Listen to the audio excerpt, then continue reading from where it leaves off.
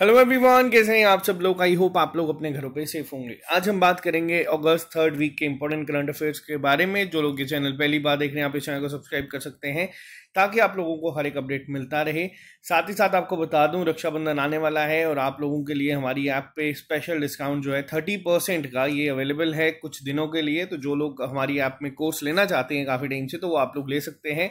Already हमारी app पे जो कोर्सेज है, वो पाँच सौ रुपये के होते हैं, तीस परसेंट डिस्काउंट के बाद ये सिर्फ़ आपको साढ़े तीन सौ रुपये में जो है, वो मिल जाएँगे और टेस्ट सीरीज़ जो है अलग अलग एग्ज़ाम्स की वो सिर्फ़ 150 या फिर 125 रुपीज़ के करीब करीब आपको जो है, वो मिल जाएगी। 20 बीस टेस्ट हैं तो अराउंड पाँच से छः रुपये में आपको एक टेस्ट जो है वो मिल जाता है और ये पूरे इंडिया में सबसे कम रेट पे आप लोगों को जो चीज़ें हैं अफोर्डेबल प्राइस पे जो है आपको यहाँ पे ट्रिपल एस के से प्रोवाइड करवाई जाती हैं। तो चलिए शुरू करते हैं आज की क्लास को बिना ज़्यादा टाइम वेस्ट किए। सबसे पहला क्वेश्चन आप लोगों के सामने है। अभी रिसेंटली अगस्त के महीने में ही विस्ता करके एक नया लोगो जो है लॉन्च करा है, अपनी रीब्रांडिंग करी गई है कंपनी के द्वारा। वो कौन सी कंपनी ने करा है? तो देखो, मैं आपको बता दूँ, जो एयर इंडिया है, जिसको आप लोग जानते हैं एयर इंडिया को किसने खरीदा है? ये क्वेश्चन भी आपके एग्ज़ाम में जो है पूछा गया था। तो ये क्वेश्चन जब न्यूज़ में आया था, तब बहुत ज़्यादा वायरल हुआ था हर एक जगह सोशल मीडिया प्लेटफॉर्म्स पे, तब भी हम लोगों ने कहा था कि ये क्वेश्चन आपसे पूछा जा सकता है कि एयर इंडिया को किसने खरीदा है? तो पहला पॉइंट तो ये याद रखना, ये अब टाटा ग्रुप ने खरीद लिया। पहले भी एयर इंडिया टाटा ग्रुप का ही था, फिर एयर इंडिया गवर्नमेंट के पास गया गवर्नमेंट से वापस टाटा ग्रुप ने इनको खरीदा है। और अब इसका जो है नया लोगो जो है वो लॉन्च करा गया है यहाँ पे और इसकी जो ब्रांडिंग है और जो इनका रीब्रांडिंग करी गई है, एक बहुत बड़ा इवेंट शुरू किया गया था, दिल्ली में किया गया है और इसका नाम रखा गया था द विस्ता। ठीक है, ये दोनों चीज़ें पता होनी चाहिए। एयर इंडिया ने ही रीब्रांडिंग करी है। अब विस्ता जो है वो किसको रिप्लेस करेगा? अब यहाँ पे देख सकते हैं, पीछे भी स्क्रीन पे अपनी यहाँ पे।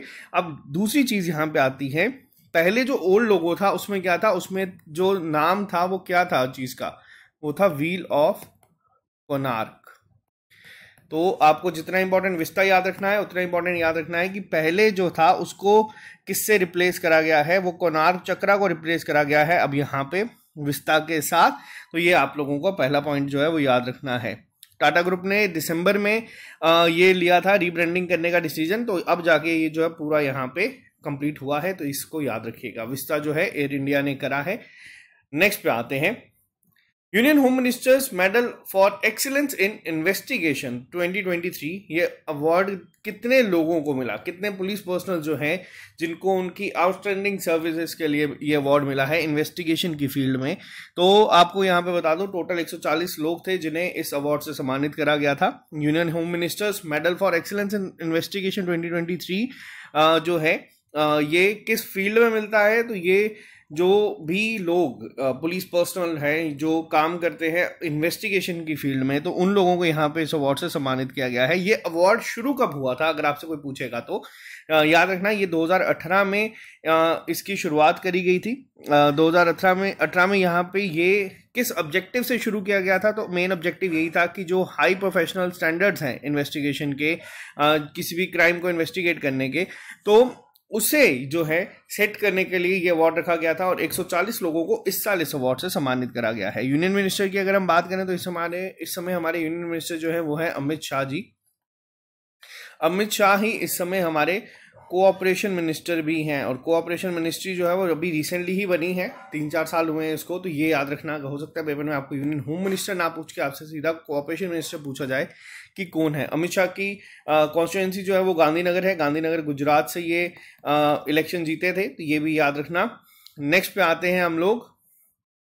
NAFIS the national automated fingerprint identification system ये एक जो टीम थी गवर्नमेंट एजेंसी, किस गवर्नमेंट एजेंसी की, जिसने रिसेंटली गोल्ड अवार्ड जीता है under the excellence of government process re engineering for digital transformation category one ये डिपार्टमेंट ऑफ़ एडमिनिस्ट्रेटिव रिफॉर्म्स के अंडर आता है जो हमारा D A R P G है department of administrative reforms and public grievances ministry of personnel public grievance and pension के under ये काम करता है। तो किसके द्वारा ये जीता गया है? देखो, सबसे पहली चीज़ तो आपको नाफीस की फुल फॉर्म याद रखनी है। पेपर में हो सकता है आपको डायरेक्ट ये पूछा जाए कि अभी जो टीम ने जिस ने जीता है, ये किसकी टीम थी? ठीक है तो ये थी national automated fingerprint identification system. किसका था ये? ये था एनसीआरबी का, यानी कि नेशनल क्राइम रिकॉर्ड ब्यूरो की टीम है। इन्होंने ये अवार्ड जीता है, अवार्ड का नाम भी याद रखना, गोल्ड अवार्ड जीता है, किस कैटेगरी में जीता है इसको भी याद रखना। ये जीता गया है award. Excellence in government process re engineering for digital transformation category one तो यहाँ पे इस अवार्ड से इन्हें सम्मानित करा गया था। बस आपको इनका नाम याद रखना है। uh, ये अवार्ड भी जो है यूनियन होम मिनिस्टर जो है इस समय अमित शाह इन्होंने इसको ही इनाग्रेट करा था नाफिस को भी। अभी 2022 में ही ये बनी है। तो इसको याद रखना। आ, दोनों चीज़ें जो है इंपॉर्टेंट है। नेक्स्ट पे आते हैं। Earth caretaker prime minister कौन अपॉइंट हुए हैं? किस कंट्री के अपॉइंट हुए हैं? नाम याद रखना अनवर उल हक ककर। या ककार जिस मर्ज़ी नाम से आप इसको जान सकते हैं। अब यहाँ पे क्या है? ये है केयर टेकर प्राइम मिनिस्टर ये टर्म जो है आप लोगों को इंडिया में आमतौर पे सुनने को नहीं मिलती है बट अब पाकिस्तान में ये चलती रहती है तो ये चीज़ याद रखना ये पाकिस्तान के बने हैं eighth caretaker prime minister बने हैं अनवर उल हक ककार जो है इनका नाम है। आ, ये किसकी जगह पे अभी एक्टिंग या केयर टेकर प्राइम मिनिस्टर बने हैं तो ये बने शहबाज शरीफ गवर्नमेंट के। तो ये इनको आप याद रखना। पाकिस्तान न्यूज़ में था, बहुत ज़्यादा इमरान खान को जब हटाया गया था प्राइम मिनिस्टर की पोस्ट से अप्रैल 2022 के बाद, तब से पॉलिटिकली अगर देखा जाए तो बहुत सारे अप्स एंड डाउन्स पाकिस्तान में देखने को मिले हैं। जो पाकिस्तान में अगर हम बात करें, इमरान खान का जो पूरा केस हुआ था, वो दो तरीके से बहुत इंपॉर्टेंट है। अब किस तरीके से इंपॉर्टेंट है, किस चीज़ को लेके वो था, वहाँ पे था कि जो भी स्टेट गिफ्ट्स मिलते हैं, जिसे तोशा खाना कहते थे उन्हें इमरान खान ने जो है वो बेचा है। अब ये स्टेट गिफ्ट मिलते कब हैं? सबसे पहली बड़ी चीज़ अगर आपको बताऊँ तो इस साल प्रधानमंत्री नरेंद्र मोदी ने यूएस में विज़िट करा था और वो क्या थी? वो थी स्टेट विज़िट स्टेट विज़िट आम विज़िट से बहुत अलग होती है। जैसे हमारे यहाँ से प्राइम मिनिस्टर हायर पोस्ट पे हैं तो प्रधानमंत्री नरेंद्र मोदी ने यहाँ पे विज़िट करा था, वैसे इमरान खान ने भी विज़िट करे थे तो जो गिफ्ट्स वहाँ पे मिलते हैं, ऐसा नहीं है कि वो गिफ्ट जो है वो पर्सनल हो जाते हैं किसी के। प्रधानमंत्री नरेंद्र मोदी को जो वहाँ पे गिफ्ट्स मिले, आप लोगों ने भी देखा होगा, प्रधानमंत्री नरेंद्र मोदी ने भी वहाँ पे गिफ्ट्स जो है वो कुछ दिए थे डायमंड के आर्टिफिशियल डायमंड की रिंग्स वहाँ पे दी थी तो वो जो गिफ्ट्स होते हैं, वो पर्सनल गिफ्ट्स नहीं होते हैं, वो कंट्री के गिफ्ट रहते हैं, और ये जो केस था, वो ये था कि इमरान खान ने ये जो स्टेट गिफ्ट थे, बेचे थे तो पूरा पॉलिटिकलाइज मैटर को करा गया था अब हिरासत में लिया गया है तो ये सब चीज़ें जो है, ये इससे लिंक है। और ये जब चीज़, ये न्यूज़ में आती है, जो स्टेट विज़िट प्रधानमंत्री नरेंद्र मोदी की न्यूज़ में थी तो वहाँ से भी क्वेश्चन जो है वो बन जाते हैं। प्रधानमंत्री नरेंद्र मोदी ने बहुत सारी विजिट्स करी हैं यूएसए में, लेकिन ये जो थी, ये पहली स्टेट विज़िट थी। स्टेट विज़िट बाकियों से अलग होती है, ये हायर जो अथॉरिटीज होते हैं, जैसे प्रेसिडेंट है वहाँ के, वही इनवाइट करेंगे तो आपको उसमें कंसिडर किया जाएगा। ठीक है? नेक्स्ट पे चलते हैं। एमडी कौन बने हैं life insurance corporation of India के जिसे हम लोग एलआईसी के नाम से भी जानते हैं। तो देखो यहाँ पे मैं आपको बता दूँ जो आर दौर स्वामी है उन्हें अभी रिसेंटली एमडी बनाया गया है। लाइफ इंश्योरेंस कॉरपोरेशन का इंपॉर्टेंट अपॉइंटमेंट्स में आता है। LIC बहुत बड़ी ऑर्गेनाइजेशन है। इनफैक्ट uh, इस बार जो स्पीच दी गई थी उसमें भी प्रधानमंत्री के द्वारा कहा गया था कि LIC जो है लोगों ने किस तरीके से जब आईपीओ लॉन्च हुआ था। अब आईपीओ एलआईसी का भी न्यूज़ में था। आईपीओ की फुल फॉर्म क्या होती है? तो ये होता है इनिशियल पब्लिक ऑफरिंग तब कहा गया था कि एलआईसी को बेच रहे हैं प्राइवेट हो जाएगा, डूब जाएगा। तो बट उसके बाद जिस तरीके से एल ग्रो करा है, उसके बारे में स्पीच में मेंशन था। इसी वजह से ये न्यूज़ में था। तो ये क्वेश्चन भी आपका इंपॉर्टेंट बन जाता है। देखो, ये सब चीज़ें इंटरलिंक्ड होती हैं। अब जो कोई चीज़ आप लोगों के सामने होती है, जैसे मैंने कहा कि स्टेट विज़िट न्यूज़ में थी, वैसे इमरान खान न्यूज़ में थे, और वैसे ही हो सकता है आपसे ये केयर टेकर प्राइम मिनिस्टर भी पूछा जाए। तो इसी तरीके से ये जो चीज़ें ये लिंक्ड होती हैं, और ये पूछी जा सकती हैं। नेक्स्ट पे आते हैं। पार्टीशन हॉरर रिमेम्बरेंस डे यानी कि विभाजन विभिक्षा स्मृति दिवस 2023 के कब ऑब्ज़र्व करा जाता है ये रिसेंटली ही प्रधानमंत्री नरेंद्र मोदी जी के द्वारा थोड़े साल पहले 2003 में 23 में आ, हम लोगों ने आ, जो है इसकी थर्ड ऑब्जर्वेंस करी है यानी कि 2020 में इसको शुरू करा गया था 14 अगस्त यानी कि ठीक आज़ादी से एक दिन पहले। हम लोगों ने अब ये कहा है कि जो पार्टीशन के दौरान जितना भी लोगों को स्ट्रगल हुआ था या जो सेक्रीफाइसेस हुए थे उस दौरान, उसको रिमेंबर करा जाएगा इस पर्टिकुलर दिन पे, चौदह अगस्त के दिन पे। और इसे इस साल मनाया गया है। ये चौदह अगस्त को मनाया गया है। ये थर्ड ऑब्जर्वेंस डे था। तो याद रखिएगा 2021 में इसको शुरू किया गया था। जो पार्टीशन हुआ था, जब इंडिया और पाकिस्तान दो अलग अलग देश बने थे। पाकिस्तान इस दिन पे अपना आज़ादी का दिवस मनाता है। पाकिस्तान का इंडिपेंडेंस डे यहाँ पे होता है। लेकिन ये अगर मैं बात करूँ इंडिया की तो यहाँ पे हम लोग इस दिन को मनाते हैं पार्टीशन हॉर्डर्स रिमेम्बरेंस डे के दिन, क्योंकि बहुत सारे लोगों के घर, जाने सब इसमें गई थी। तो आज़ादी एक अलग चीज़ थी, बट ये जो दिन था, ये बहुत ही एक खतरनाक था। अब हम लोग ये चीज़ इस तरीके से कह सकते हैं क्योंकि हमारी दादी जो थी जो हमारे ग्रैंड पेरेंट्स थे, उन लोगों ने इस चीज़ को फेस करा था। वो हम लोगों को इस चीज़ के बारे में बताते थे कि किस तरीके से वो लोग भी वहाँ से यहाँ पे आए थे और बहुत सारे लोग यहाँ से वहाँ गए थे। तो इसको याद रखिएगा और ये भी याद रखिएगा कि पहली बार कब बनाया गया था तो ये पहली बार फोर्टीन अगस्त 2021 के दिन ऑब्ज़र्व करा गया था। नेक्स्ट पे आते हैं।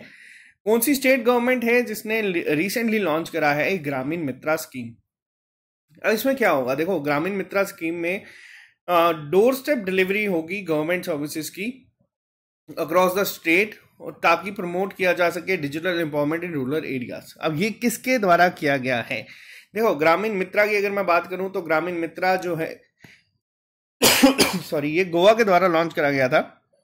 गोवा ने इसको लॉन्च करा है। गोवा के सीएम जो है, क्या नाम है उनका? उनका नाम है प्रमोद सावंत जी। इन्होंने इसे लॉन्च करा है. रिसेंटली यहाँ पे स्कीम जो होगी, ये गवर्नमेंट ऑफ़ गोवा की स्कीम है ताकि डोर स्टेप डिलीवरी जितनी भी गवर्नमेंट की सर्विसेज़ होती हैं, जितनी भी इसमें आती हैं, वो सब जो है रूरल एरियाज़ तक पहुंचाई जाए और डिजिटल एक एम्पावरमेंट जो है, उसको जो है कोशिश की जाए कि ज़्यादा से ज़्यादा अवेयरनेस यहाँ पे लेके आई जाए. तो यहाँ पे इसे शुरू किया गया है. अब ये जो एक गैप आता है मेन डिजिटल गैप आता है, जो रूरल और अर्बन एरियाज़ होते हैं, उसको फिल करने की कोशिश की गई है. आ, तो यहाँ पे ये दो चीज़ें याद रखना। गोवा की कैपिटल क्या होती है? गोवा की कैपिटल है आपकी पनाजी।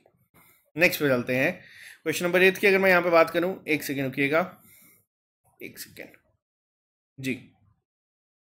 एक मिनट रुकिएगा यहाँ पे। जी। कौन सी स्टेट गवर्नमेंट ऐसी है जिसने रिसेंटली अनाउंस करा है एक plan to establish India first common testing centre for unmanned aerial systems यानी कि U A S drones under the defence testing infrastructure scheme D T I S देखो, ये दोनों नाम याद रखने हैं आपको पहली चीज़, क्योंकि ये इंडिया का पहला, जब कभी भी ये वर्ड यूज़ होता है इंडिया फ़र्स्ट तो ये बहुत ज़्यादा इंपॉर्टेंट हो जाता है, फिर आप लोगों को पूछा जाएगा। अगर आपसे मैं यहाँ पे पूछूँ कि इंडिया का पहला ए आई स्कूल कहाँ पे बना है? ये भी अगस्त फोर्थ वीक में आपको मैं करवाऊँगा बट मैं आपको भी बता देता हूँ, ये न्यूज़ में था। तो एआई स्कूल इंडिया का पहला बना है केरला के त्रिवंतरमपुरम में। ठीक है, इसके अलावा अगर मैं बात करूँ इंडिया का पहला, जब भी इंडिया का पहला यूज़ होता है ना तो ये बहुत इंपॉर्टेंट हो जाता है। पेपर में ये गारंटी कहीं ना कहीं आपको दिखता है ये इंडिया का पहला common testing centre for unmanned aerial systems बनाया गया है ड्रोन के लिए कॉमन टेस्टिंग सेंटर बनाया गया है जो किसके अंडर काम करेगा? Under defence testing infrastructure scheme के। तो ये किसने बनाया है? कौन सी स्टेट है जो इसको सेटअप करेगी? तो ये करेगी तमिलनाडु। तमिलनाडु इसको जो है सेटअप करेगी। Total forty five crore rupees की अप्रोक्सीमेट यहाँ पे जो है इन्वेस्टमेंट हुई है। अगर तमिलनाडु में भी एग्जैक्ट अगर मैं बता दूँ कहाँ पे हुआ है तो जगह का नाम याद रखना, वो है कंचीपुरम कांचीपुरम में इसको जो है सेटअप करा जाएगा। तो तमिलनाडु गवर्नमेंट के द्वारा ये इंडिया का पहला कॉमन टेस्टिंग होगा तो इसलिए बहुत ज़्यादा इंपॉर्टेंट है। नेक्स्ट पे आते हैं। As per all India consumer price index CPI जो रिलीज़ करी गई थी नेशनल स्टेटिस्टिकल ऑफ़िस के द्वारा अगस्त के महीने में, जो हमारा इन्फ्लेशन रेट है, वो बड़ा है जुलाई के कंपैरिजन में, जो अपर लिमिट थी आरबीआई की दो से छः परसेंट टॉलरेंस रेंज की, उसको भी बीट करके और ज़्यादा बढ़ गया है, जो कि एक अलार्मिंग सिचुएशन होती है। तो कितना हो चुका है ये? ये हो चुका है seven point four four percent देखो, ये हर हर महीने निकलती है आपको एग्ज़ाम से पहले वाली एक दो महीने की याद रखने की अगर आपसे पूछा जाए, क्योंकि जो स्पेसिफिक डेटा याद रखना होता है ना कई बार मुश्किल हो जाता है याद रखना भी। बट जैसे ये अभी अगस्त के महीने की है, हो सकता है आपके एग्ज़ाम सितंबर या अक्टूबर में तो आपको ये याद रखना ही रखना है। इस पे क्वेश्चंस कई बार बन जाते हैं। तो रिटेल इन्फ्लेशन जो है, वो बड़ी है seven point four four percent जो है, उसको क्रॉस कर गया है, जो आरबीआई का इन्फ्लेशन टारगेट था टू पॉइंट दो से छः परसेंट का, उसको भी बीट करते हुए, ये जो एक टॉलरेंस रेंज होती है मतलब यहाँ तक अगर मैं आपको सिंपल लैंग्वेज में बताऊँ तो यहाँ तक क्या है कि छः परसेंट तक की जो इंक्रीज है, उसको आम जनता जो है वो टॉलरेट कर सकती है। आरबीआई ने ये अपर लिमिट सेट की होती है, लेकिन यहाँ पे जो अभी इस समय जो एक आप लोगों ने देखा है कि जैसे टमाटर के दाम बहुत बढ़ गए, ये सब चीज़ें जो है, जो price of vegetable cereal pulses milk ये सब चीज़ें जो बढ़ जाती हैं तो इसकी वजह से ये जो अपर लिमिट है, वो बढ़ गई है और कितनी होगी? Seven point four four percent ठीक है? तो यहाँ पे इसको याद रखना। और ये तीसरा ऐसा इंस्टांस हुआ है जिसमें ये बड़ी है पंद्रह महीने के अंदर अंदर। तो यहाँ पे ये जो चीज़ें हैं थोड़ी सी अलार्मिंग सिचुएशन होती है। पहले यहाँ पे बहुत सारे स्टेप्स जो है वो ले लेने चाहिए। आ, अगर हम स्टेट की बात करें कि कौन सी स्टेट थी जिसमें सबसे ज़्यादा इन्फ्लेशन देखने को मिला है? हाइएस्ट इन्फ्लेशन रेट जो है वो राजस्थान में देखने को मिला है। राजस्थान में सबसे ज़्यादा ये देखने को मिला है जो कि 9.66 परसेंट है। और दूसरे नंबर पे झारखंड है। तो बस आपको इतने याद रखने हैं। आपको बस इतना जो डेटा है, इतना सफिशियंट है बट आपको ये पता होना चाहिए। नेक्स्ट की बात करते हैं N H I D C L national highway authority national highway and infrastructure development cooperation limited, इसके अभी एडिशनल चार्ज किसको मिला है? एमडी का। तो देखो, यहाँ पे अगर मैं आपको बता दूँ, जो एडिशनल चार्ज दिया गया है एज एमडी एनएचआईडीसीएल का, वो दिया गया है महमूद अहमद जी को। तो यहाँ पे आप इनको देख सकते हैं, इन्हें रिसेंटली बनाया गया है यहाँ पे। ये कब एस्टेब्लिश हुआ था? ये दो हज़ार चौदह में हुआ था। इसको आप एन के साथ कंफ्यूज मत करना, जैसे हम लोग बोलते बोलते कर गए थे। बट ये एन है, ये अलग कंपनी है। इसका हेडक्वार्टर जो है वो न्यू दिल्ली में है 2014 में बनाई गई थी। तो आपको बस इतना यहाँ पे इन चीज़ों को याद रखना है। नेक्स्ट पे आते हैं। कौन सा ऐसा इंस्टीट्यूट है जिसने डिस्कवर करा है एक unique carbon enhance metal poor CEMP star जिसका नाम यहाँ पे है अब देखो, ये क्वेश्चन जो है ना, ये आते हैं आपके स्पेस एंड टेक्नोलॉजी के क्वेश्चन अगर एग्जामिनर ने चाहा कि आप लोगों को कंफ्यूज करना तो वो आपसे सीधा यहाँ पे इसका नाम पूछेगा। ठीक है, पहला पॉइंट दूसरा आपसे पूछेगा कि किसने फाइंड करा है? देखो, यहाँ पे जो फाइंड करा गया है, ये किया गया है Indian institute of astrophysics Bengaluru Karnataka ने। लेकिन आपको इसका नाम भी याद रखना है H E one zero zero five one four three nine इसका नाम है, अब किस तरीके से नाम रखा गया है, वो मैं डिटेल्स में नहीं जाऊँगा, बस आपको ये याद रखना है। आप लोगों को ये क्वेश्चन जो है कई बार मतलब ऐसे क्वेश्चंस भी एग्जामिनर जो है पूछ लेता है ताकि आप लोग थोड़ा सा जो है एग्ज़ाम में चकरा जाओ। तो नेक्स्ट पे आते हैं। कौन सी स्टेट गवर्नमेंट ऐसी है जिसने रिसेंटली लॉन्च करा है अथिदी पोर्टल? यानी कि जो एक रजिस्ट्रेशन माइग्रेंट वर्कर्स के लिए पोर्टल बनाया गया है। आ, ये अथिदी जो है ये पोर्टल जो है, किस गवर्नमेंट के द्वारा लॉन्च किया गया है, ये करा गया है वापस से केरला गवर्नमेंट के द्वारा। केरला की अगर मैं बात करूँ, केरला ने के फ़ोन सर्विसेज़ भी शुरू करी थी। आज से दो तीन साल पहले करी थी, लेकिन ये पूछी जाती है अभी भी पेपर में ये इनका खुद का इंटरनेट सर्विस प्रोवाइडर है। इसके अलावा केरला ने राइट टू इंटरनेट जो है वो पास करा है। केरला बहुत सारी न्यूज़ चीज़ों की वजह से न्यूज़ में था। अब आपका क्वेश्चन ये है होमवर्क आपको बताना है, किन्हीं दो न्यूज़ के बारे में जो अभी रिसेंटली कर्नाटका के रिलेटेड थी और हम लोगों ने यहाँ पे कवर करवाई। नहीं भी कवर करवाई है, तब भी आप लोगों को बताना है, जो ऐसी चीज़ें जो आपसे एग्ज़ाम में पूछी जा सकती है। अब देखते हैं आपको कितना याद है। बिना नोट्स को खोले। और कमेंट बॉक्स में जब बाकी बच्चे देखेंगे तो उन लोगों को भी वो चीज़ें जो है पता चल जाएगी। अब बात करते हैं केरला गवर्नमेंट के बारे में, इस न्यूज़ के बारे में। इन्होंने एक user friendly web portal launch करा है अथिदी पोर्टल जिसके तहत जितने भी माइग्रेंट वर्कर्स जो केरला में आते हैं, वो अपने आप को रजिस्टर करवा सकते हैं। एक यूनिक आइडेंटिफिकेशन सिस्टम जो होगा, वो उनको मिलेगा। और इसके तहत गवर्नमेंट की भी हेल्प होगी ताकि वो क्या कर सकेंगे? गवर्नमेंट जितनी भी ग्रीवेंसेस जो हैं जो इन माइग्रेंट वर्कर्स को फेस करने पड़ते हैं, वो यहाँ पे इस पोर्टल में लिख सकते हैं। और जितने भी कॉन्ट्रैक्टर्स हैं, जो एम्प्लॉयर्स हैं जो टेम्प्रेरी वर्कर्स हैं, वो भी इसमें रजिस्टर करवा सकते हैं। तो ये पोर्टल लॉन्च करा गया है यहाँ पे केरला गवर्नमेंट के द्वारा। और यहाँ पे राशन राइट कार्ड जो है, अब एक और मैं आपको बता देता हूँ। राशन राइट कार्ड यानी कि one country one ration card initiative जो लिया गया है माइग्रेंट वर्कर्स के लिए, क्योंकि हमने कोविड के दौरान देखा था, बहुत सारे लोगों को इश्यू आया था तो राशन लेने में भी तो उसके लिए, उसी टाइम पे भी ये बात कही गई थी कि one country one ration card को लेके तो इसमें भी वो हेल्प करेगा यहाँ पे कि इन माइग्रेंट वर्कर्स को यहाँ पे करेगा। केरला की अगर मैं बात करूँ, केरला के पी सीएम कौन है इस समय तो वो है पनरई विजयन गवर्नर कौन है इस समय केरला के? वो है आरिफ मोहम्मद खान। ठीक है तो ये इतना डेटा काफ़ी है केरला के लिए। नेक्स्ट पे आते हैं। कौन सी स्टेट ऐसी बनी है जो पहली स्टेट होगी इंडिया की जो free in vitro fertilisation therapy जो है, जो शुरू करेगी? देखो, यहाँ पे अगर मैं बात करूँ तो ये शुरू करा गया है गोवा के द्वारा। गोवा इस पहली स्टेट बनी है जिसने किया है। गोवा एक और चीज़ में पहली बनी थी जिसने ये किया था, वो थी first rabies free day, state. ये दो साल पहले अगस्त का क्वेश्चन है बट ये पूछा जा सकता है। ये यूपीएससी सीडीएस पे पूछा गया था।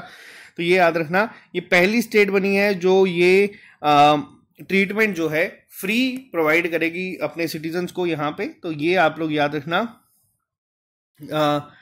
नेक्स्ट पे आते हैं। नेक्स्ट क्वेश्चन की अगर मैं बात करूँ, अभी रिसेंटली जो हमारी प्रेसिडेंट है, द्रौपदी मुर्मू, उन्होंने विज़िट करा था वेस्ट बंगाल को अगस्त के महीने में। उसके दौरान कुछ न्यूज़ जो थी, वो यहाँ पे आप लोगों के सामने आई थी। अब आपको बताने कि इनमें से कौन सा पॉइंट ऐसा है जो करेक्ट है।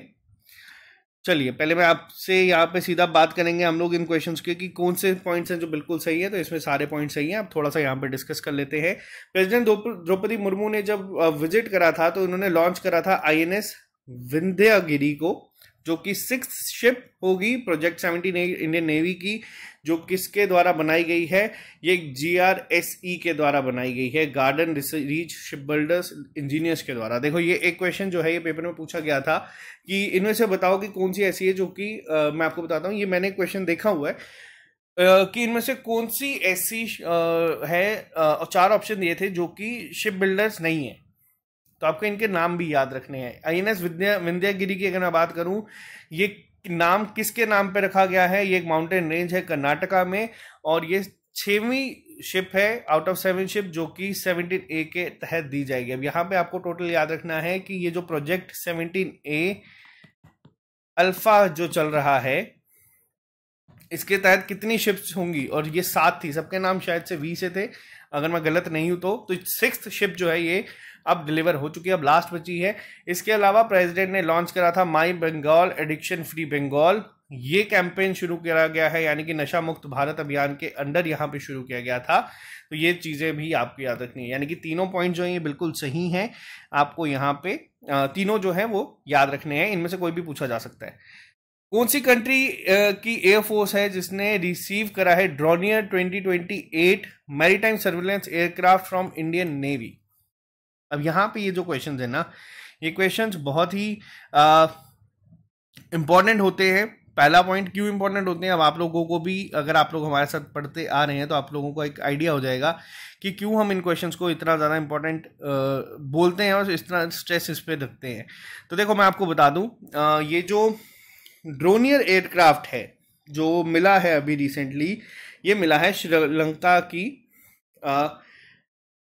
एयरफोर्स को। श्रीलंकन एयरफोर्स को ये दिया गया है इंडियन के आ, इंडियन नेवी के द्वारा ये दिया गया है ताकि जो मैरीटाइम सर्विलेंस हो सके श्रीलंकन एयरफोर्स के द्वारा उसको इम्प्रूव करने के लिए यहाँ पे ये जो है ये दिया गया है।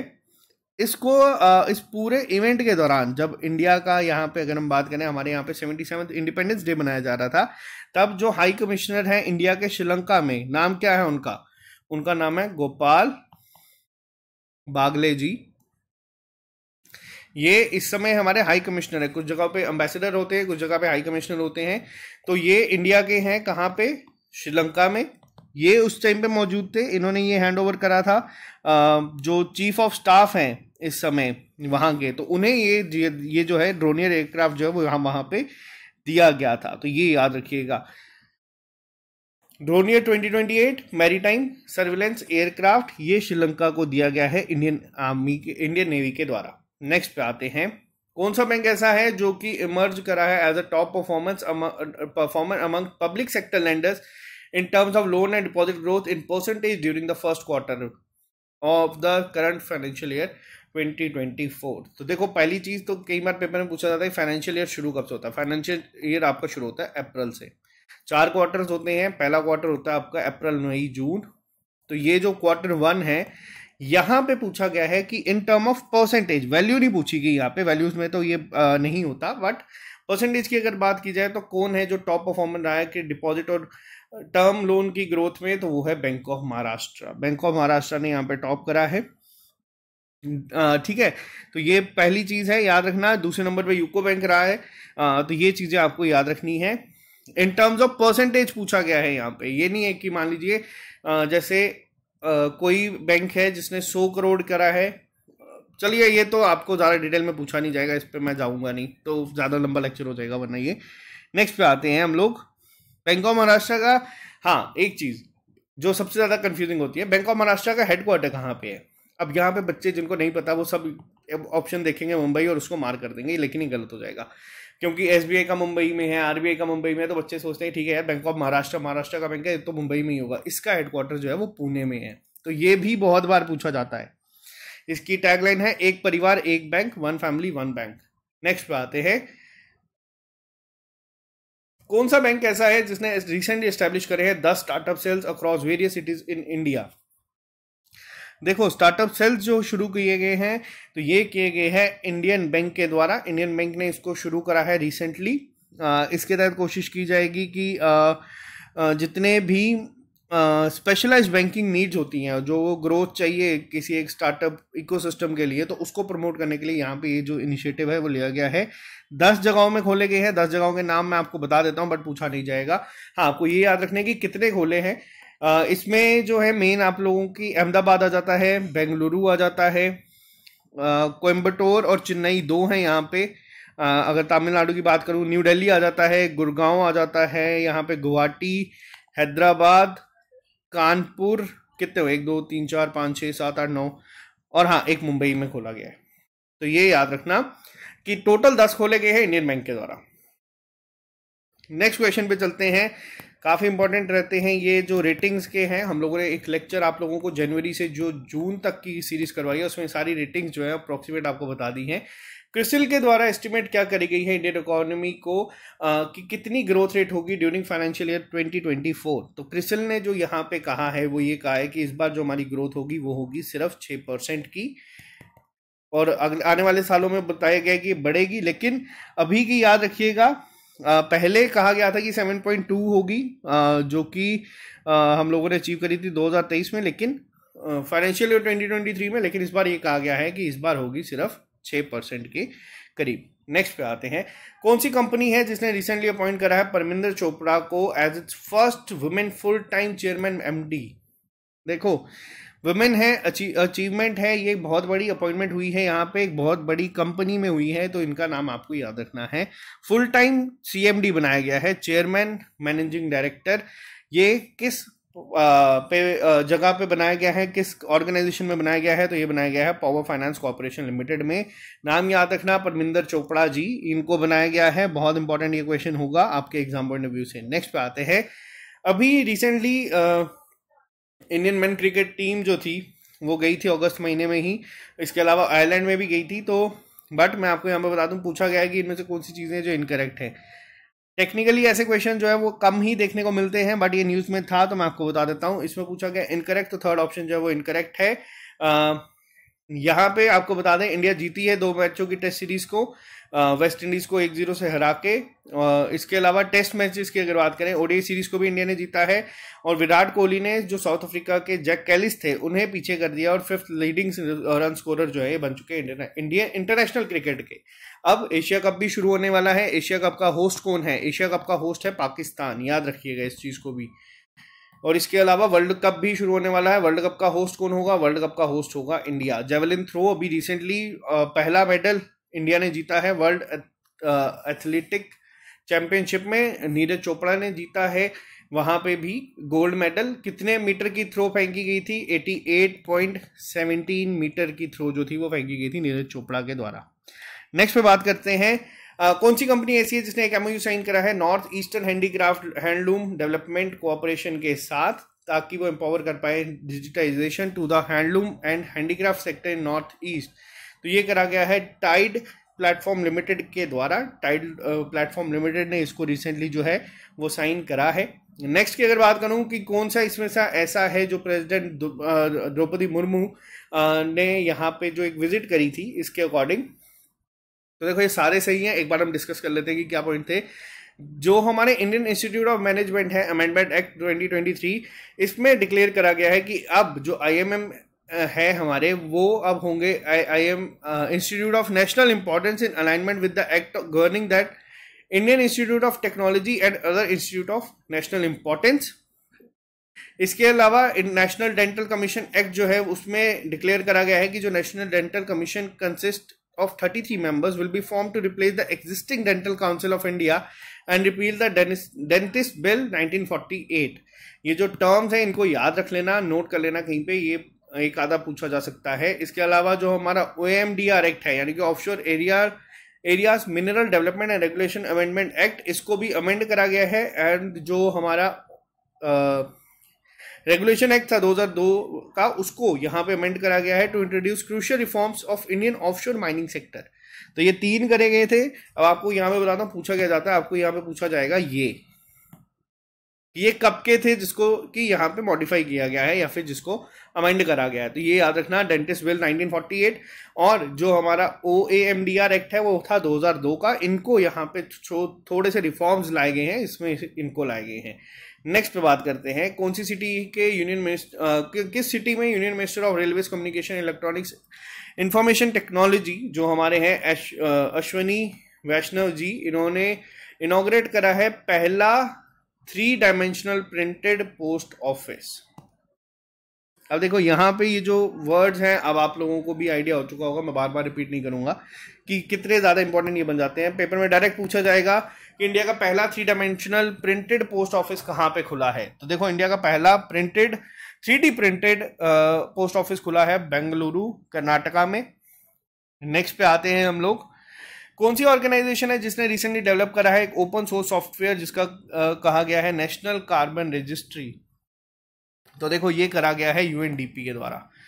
यूएनडीपी ने इसमें रिसेंटली डेवलप करा है एक ओपन सोर्स सॉफ्टवेयर जिसका नाम रखा है नेशनल कार्बन रजिस्ट्री अब आपको यहाँ पे कमेंट बॉक्स में लिख के बताना है कि आ, इसका हेडक्वार्टर कहाँ पे है? यूएनडीपी का। चलो, आज मैं आपको थोड़ा सा डिफ़िकल्ट होमवर्क देता हूँ। आपको मेरे को इन चारों के हेडक्वार्टर्स को लिख के बताना है कमेंट बॉक्स में कि कहाँ पे क्योंकि एक एक आपका सिलेबस में लिखा है कि इंपॉर्टेंट इंटरनेशनल रीजनल ऑर्गेनाइजेशन तो उस पर क्वेश्चन आपको हेडक्वार्टर्स पे ही पूछा जाएगा। कौन सा बैंक ऐसा है जिसने अपनी एक मोबाइल बैंकिंग ऐप लॉन्च करी है, जिसका नाम है आयरिस देखो मोबाइल बैंकिंग ऐप का जो टाइम था, वो 2016-17 में शुरू हुआ था। उसके बाद सभी बैंक्स ने अपनी ऐप निकाली है जैसे जे एंड के बैंक ने अभी रिसेंटली अपनी एम पे को लॉन्च करा है नई एम पे बनाई है कैनरा बैंक की ऐप का नाम आ जाता है कैंडी अब नहीं है उसका नाम है A I one S B I की अगर मैं बात करूँ तो वो है YONO you only need one अब यहाँ पे आयरिस जो है न्यूज़ में है तो याद रखना है किसके द्वारा की गई है येस बैंक के द्वारा इसको लॉन्च किया गया है आ, इन्होंने यहाँ पे किया है अभी तो ये चलो ऐप्स है पहले एक चैट बॉट भी निकाले जाते थे, अब चैट बॉट इतने ज़्यादा नहीं चल रहे। बट अब ऐप आ गई है तो ऐप को याद रखना। नेक्स्ट पे आते हैं।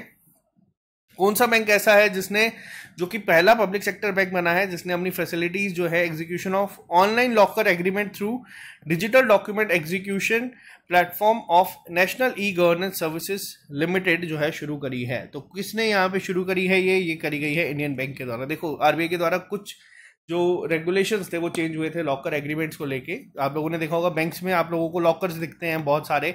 तो उसमें कुछ चेंजेस जो है वो किए गए थे। तो अब वो सारे के सारे जो चेंजेस है, एक नया एग्रीमेंट जो होगा साइन होगा वो कैसे करवाया जाएगा? अब कई बैंक्स ने कस्टमर्स को ब्रांच में बुलाया, वहाँ पे उनसे साइन करवाया। लेकिन इंडियन बैंक ने क्या किया है? इन्होंने एक ऑनलाइन लॉकर एग्रीमेंट जो है, वो लॉन्च करा है through digital document execution platform जो कि NESL का है national e governance services limited का है तो यहाँ से आप घर बैठे बैठे ही ये साइन कर सकते हैं। नेक्स्ट पे आते हैं, कौन एमडी सीईओ बने हैं साउथ इंडियन बैंक के? ये बैंकिंग करंट अफेयर्स में आपको ज़्यादा इसलिए करवाना हूँ क्योंकि अभी आप लोगों का आरआरबी मेंस आने वाला है तो उसमें ये क्वेश्चन आपको देखने को मिलेंगे।